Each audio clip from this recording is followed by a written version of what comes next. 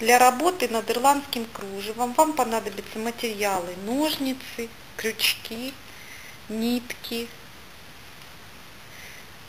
булавочки, иголка для слепых, для тонкой нити и глаз широким ушком и тупым концом для толстых нитей. Пенопласт обтянутый скотчем 50 на 40 сантиметров. Выкройка, которую мы положим на пенопласт,